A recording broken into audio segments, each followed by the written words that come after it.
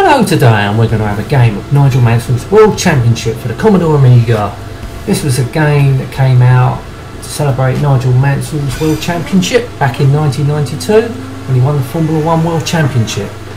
And I brought it back, I think it was late 92, early 93 I bought this. Can't remember when it came out. Yeah, it was, what are we going to see? Wasn't the greatest of right racing games. Um, no way as good.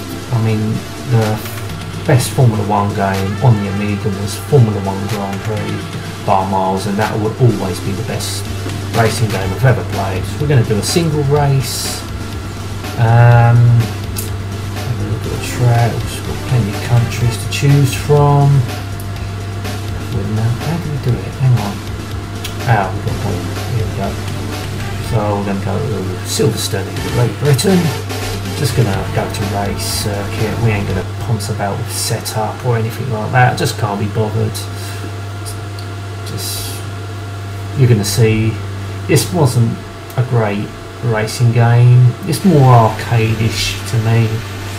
I mean the graphics looks arcade-ish you look at it, it reminds me a little bit of Vroom, which I thought was a good game. Very, I think it was better than this. I don't know, this just, this was alright, but I don't know, I just didn't really like the driving of it.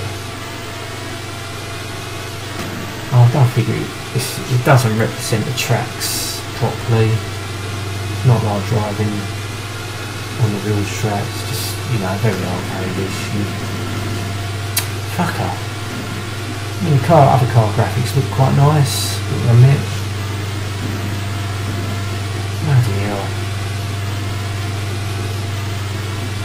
Like your animation of the hands when he's going around the corners. Pretty good. Yeah, I only played this on the Amiga.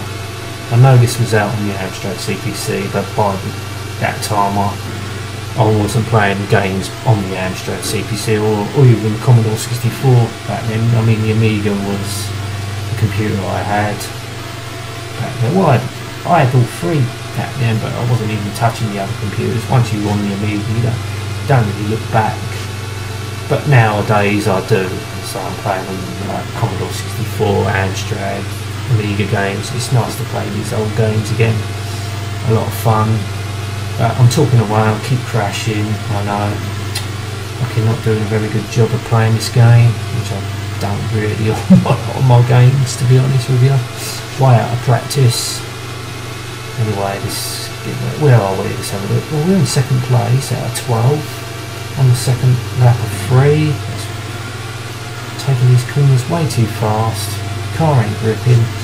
Actually thought the Williams Renault was a, the best car. It gripped anyway had its active suspension, all its all its things that you know was the sophisticated car back back in that day. Not as I say, Nigel Mansell won the championship quite easy. Very good racing driver, I thought. Oh God. You wouldn't be very proud of me if I if you saw this. um, God's sake. Here we go around the corner as we're fucking it up totally. Down the straight as we start our last lap. here we go, so in third place can we get better than third I wonder? Oh! Bloody hell, not if I to keep driving in the back of cars I won't.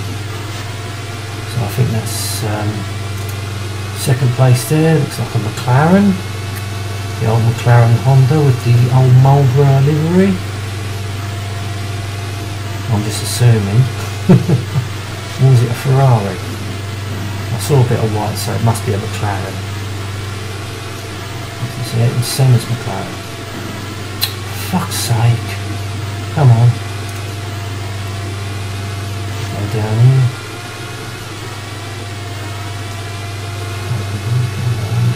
Oh, I'm going off the road again. Oh, we overtook him. Come on. Oh, shit. He's overtaking me again. Come on. Can't settle for third. Oh, yes, here we go. Oh, fucking corners just come at you. Here we go. Here we. No, he's accelerating away. Bastard. Anyway. Ooh, Andrea Cesaris. Fucking hell did he win the race? Did you use this bastard?